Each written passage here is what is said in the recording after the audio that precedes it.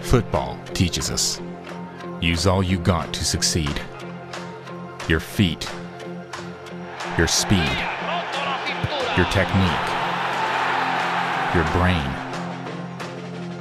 and especially your heart.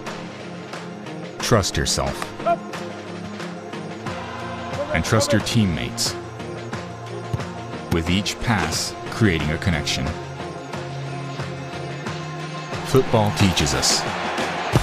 Don't give up. Don't look back. Don't stop. Don't risk defeat with victory in your hands. Go forward and forward. And forward still. Only one person can score a goal. But to create a goal, you need more than one.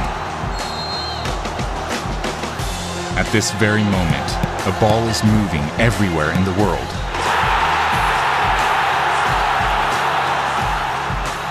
No moment in football is the same. That's why we can't stop playing football. Him, her, Philippe. Football is a part of all of us.